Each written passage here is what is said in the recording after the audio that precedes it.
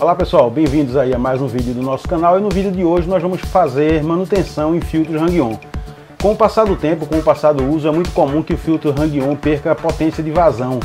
Isso é, é muito comum acontecer por diversos fatores e no vídeo de hoje nós vamos trabalhar exatamente isso. Eu retirei um filtro Hang-On que eu uso em um dos aquários aqui da loja e nós vamos fazer a manutenção desse filtro. Eu vou explicar um pouco para vocês como é que se faz a manutenção desse filtro.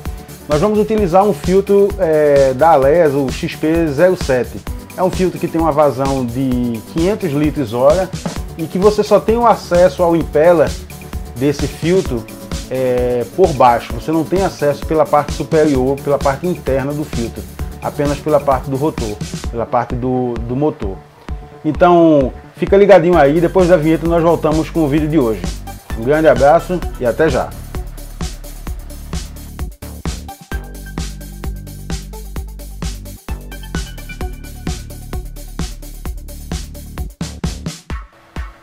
Bom pessoal, como eu falei para vocês, nós vamos fazer hoje a manutenção desse filtro aqui, que é um filtro Hang-On, um filtro de 500 litros hora, um filtro fabricado pela Aleas. Tá aqui ele novo, é o XP07 e tá aqui ele que eu acabei de tirar de um dos nossos aquários. Como esse filtro tem um reservatório bem legal, muita gente utiliza para colocar cerâmica biológica, carvão ativado e outros elementos filtrantes. Então o que é que acontece? Com o passar do tempo, cria-se um acúmulo de resíduo é, é, no interior do filtro. Também cria-se resíduo na canopla, nessa tubulação que leva a água do aquário para o interior do filtro. Então nós precisamos desmontar isso aqui, tá? Para fazer a limpeza. Geralmente nós fazemos a limpeza com uma varinha, com algodão, alguma coisa nesse sentido, e com água com pressão. Você joga pressão aqui, água com pressão aqui, e termina saindo todo é, o resíduo que fica dentro do, do can, da, da, canopla. O interessante é que por ser transparente você consegue visualizar sempre é, quando ela está limpa. No momento a gente vê aqui ó, que ela está um pouco suja. Bom, o interessante desse filtro é que ele é um dos poucos filtros que não permitem acesso ao impeller. Aqui do lado eu vou estar colocando a figurinha do impeller para que vocês entendam bem o que é o impeller.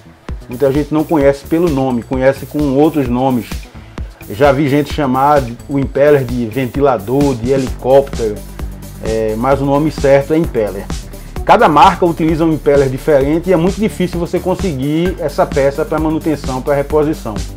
Então, nesse filtro aqui, ó, nesse filtro aqui, ele é bem fácil tirar.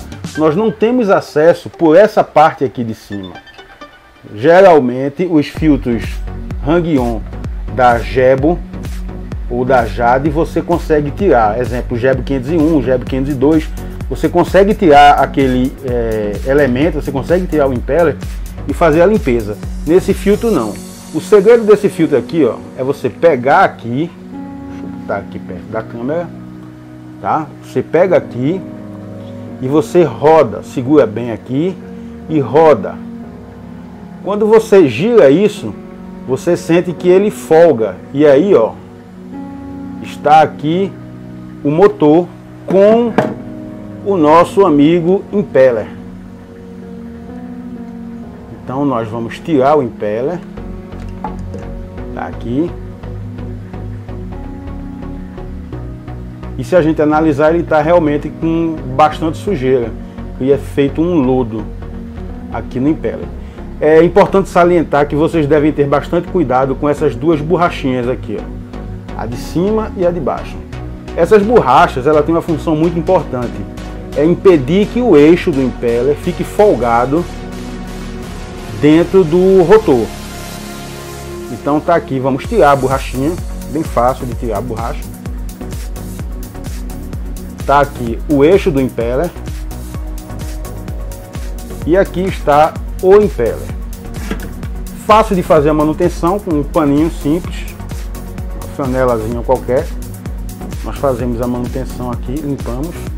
Se tiver muito sujo, você pode também lavar e passar uma escovinha de dente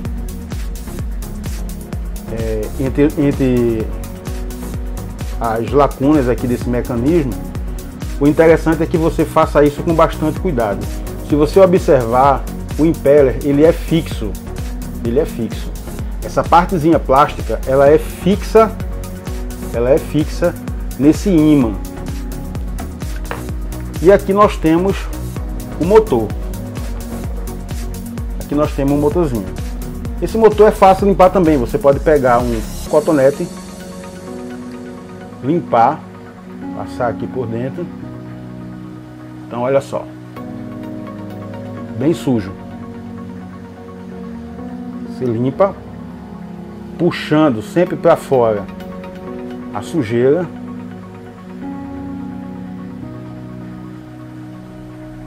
Vamos pegar outro cotonete, limpar.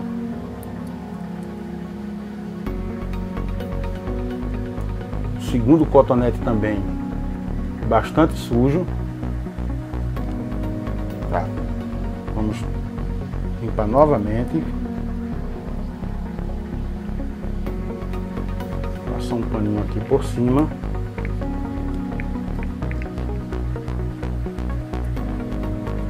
E tentar limpar aqui por dentro também. Já tiramos a, a, o excesso. Nós vamos limpar aqui.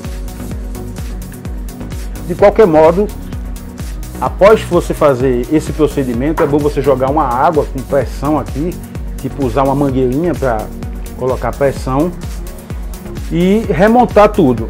Remontar também é muito simples, basta ter cuidado, como a gente falou, cuidado nas duas borrachinhas. Então vamos fazer a montagem. Então tá aqui o impeller, o eixo,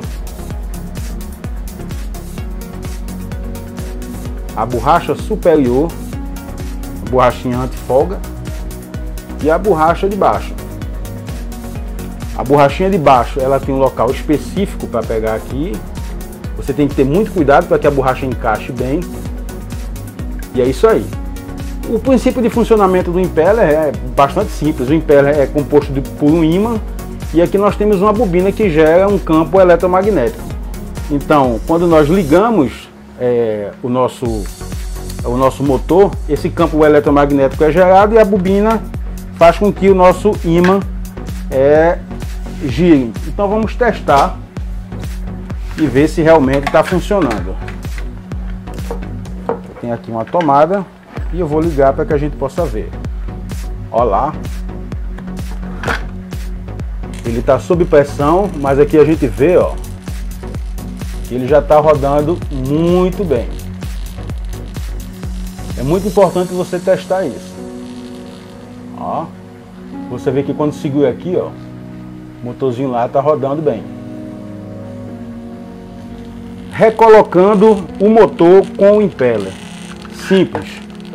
Da mesma forma que você teve o cuidado de sentir quando a trava do motor sai, libera, nós devemos colocar o motor na mesma posição que nós tiramos. Então olha lá coloquei o motor e as borrachas de vedação. E aqui eu rodo, vou rotacionar. Beleza. Uma dica é que a parte da etiqueta fica sempre para o lado traseiro da bomba do filtro. Feito isso, trabalho concluído. Agora é só limpar as canoplas e tá tudo certo. Ok? E agora eu vou colocar um aquário aqui com água e nós vamos é, ver um aquário cheio e vamos ver o nosso filtro funcionando e testar se realmente a vazão está é, dentro daquilo que se espera, já que esse filtro é um filtro de 500 litros hora. Então aguarda só um momentinho, é, vamos rodar a vinheta e voltamos logo logo.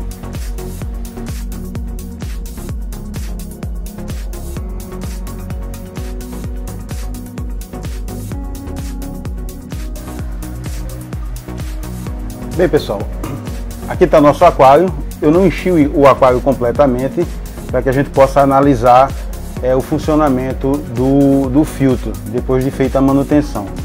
É interessante que a gente se preocupe também em regular a altura aqui do filtro.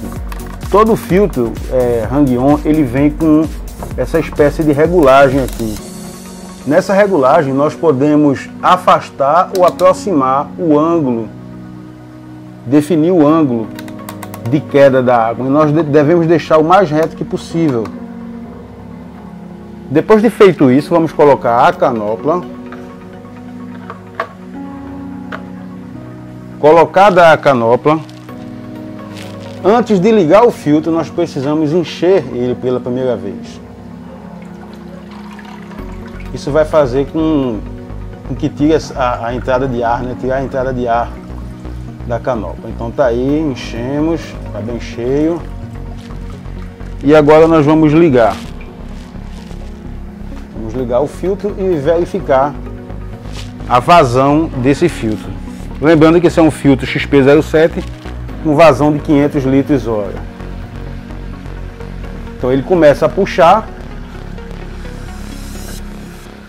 a água começa a subir pela canopla e aí vem, passa pelo impeller e aqui nós já conseguimos ver